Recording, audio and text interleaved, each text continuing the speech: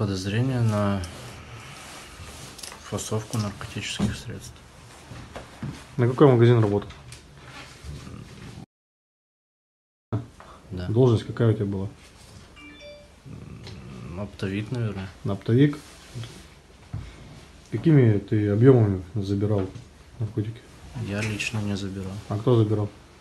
Друг Друг? А ты что делал с ним? фасовал. Фасовал?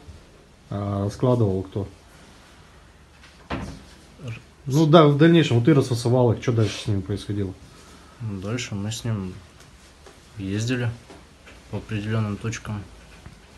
Ну и раскладывали, да? Да.